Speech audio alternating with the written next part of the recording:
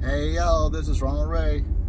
How's everybody doing this Saturday late afternoon? Just got some go-go cheese, about to get a little grub, and head to Cornelia, Georgia for Anarchy Wrestling's Fire on the Mountain.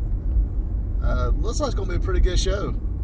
Got Nick Halen against Joe Black for the Heritage title. Got a uh, got got the big boys.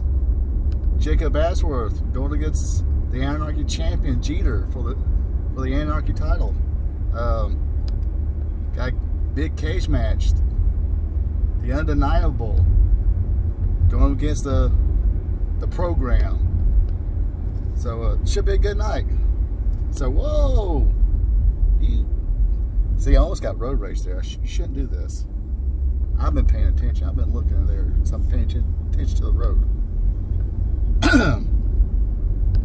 Anyway, that almost got ugly. So, uh, anyway, I'm to shut this off. And, uh, you folks take it easy. Be careful out there.